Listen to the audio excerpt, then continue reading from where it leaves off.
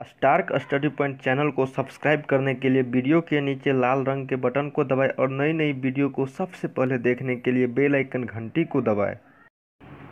Hello दोस्तों welcome to Stark study point आज की इस वीडियो में आप लोग जानेंगे कि बिहार बोर्ड मैट्रिक का रिज़ल्ट 20 जून को कब आएँगे और क्या पिछले साल से बेहतर हो पाएगा रिज़ल्ट सभी चीज़ों की जानकारी देने वाला हूँ इस वीडियो पर, इसलिए वीडियो को लास्ट तक बने रहिएगा। और अब वीडियो स्टार्ट करने से पहले मैं आप लोगों को बता दूँ दोस्तों, अभी तक चैनल को सब्सक्राइब नहीं किया है और इस तरह का न्यूज़ आप सबसे पहले देखना चाहते हैं तो वीडियो के नीचे लाल रंग का बटन दिख रहा होगा, उसको दबाकर एक बेल आइकन आएगा, उसको भी दबा देना ताकि समय समय पर वीडियो का लाभ आप उठा पाए, जैसे हम कोई वीडियो डालेंगे तो। तो चलिए जानते हैं दोस्तों, आप सभी को पता ही होगा कि बिहार बोर्ड इंटरमीडिएट का रिज़ल्ट जारी हो चुका है, जो काफ़ी ख़राब आया है दोस्तों, इस साल भी पिछले साल के मुकाबले में, क्योंकि सौ में सात परसेंट लड़का ही फ़र्स्ट डिवीज़न हुए हैं और बाकी सेकेंड और थर्ड डिवीज़न। तो ये बहुत ही ख़राब रिज़ल्ट है दोस्तों। तो इसका जो फ़ायदा होने वाला है वो क्लास टेंथ वालों के लिए। काफ़ी अच्छा आएगा रिज़ल्ट दोस्तों टेंथ वालों का। मैं पिछले साल के तुलना बता दूँ कि पिछला साल इंटरमीडिएट का रिज़ल्ट पैंतीस परसेंट आया था। इसको देखते हुए दोस्तों टेंथ वालों का बहुत बड़ा खुशखबरी पिछला साल मिला था कि 50 परसेंट उसका रिज़ल्ट आया था और सभी का लगभग तीन सौ, साढ़े तीन सौ प्लस से नंबर था। मैं जितना का भी देखा, लगभग सौ में पच्चीस लड़का जो है, वो फ़र्स्ट डिवीज़न ही था।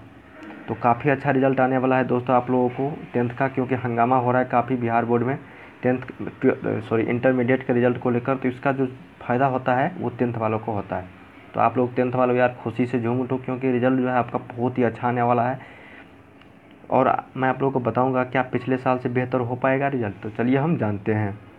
यहाँ पर देख सकते हैं दोस्तों, बताया गया है कि बिहार बोर्ड ने 20 जून को मैट्रिक का रिज़ल्ट जारी मतलब करेगा। ये आप लोगों को पता ही होगा दोस्तों 20 जून को कन्फर्म डेट है, ये टाइम अभी नहीं पता चला है।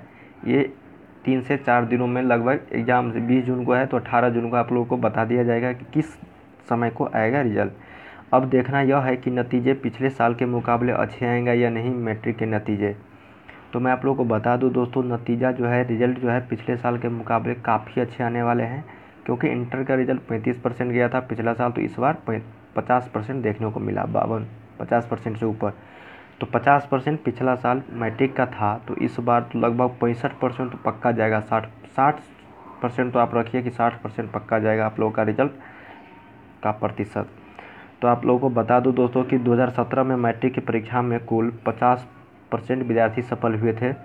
छात्राओं की सफलता का प्रतिशत यानी लड़की का इक्कीस पॉइंट इक्कीस प्रतिशत था और लड़कों का अट्ठाईस पॉइंट नाइन वन यानी उनतीस परसेंट लड़के पास हुए थे और इक्कीस परसेंट लड़कियाँ तो टोटल हो गया दोनों पचास परसेंट तो मैं आप लोग को बता, ये भी बता दूँ दोस्तों कि 2017 में मैट्रिक के रिज़ल्ट में पिछले साल की तुलना में यानी 2016 में जितना आया था 2016 में आप लोगों को बता दूँ कि सैंतालीस परसेंट रिज़ल्ट आया था। तो 2017 में इसकी तुलना में 50 परसेंट ज़्यादा आया था और 2015 की बात करूँ दोस्तों 2015 में तो हिला ही दिया था बिहार बोर्ड ने, पचहत्तर परसेंट रिज़ल्ट देकर। 2015 से ये जो स्थिति गड़बड़ाया है, अभी तक गड़बड़ा ही रहा है। तो आज की इस वीडियो में दोस्तों इतना ही था। अगर वीडियो पसंद आए तो वीडियो को लाइक ज़रूर करना और इसी तरह का न्यूज़ हमेशा पाने के लिए आप हमारे चैनल को ज़रूर सब्सक्राइब करें। धन्यवाद।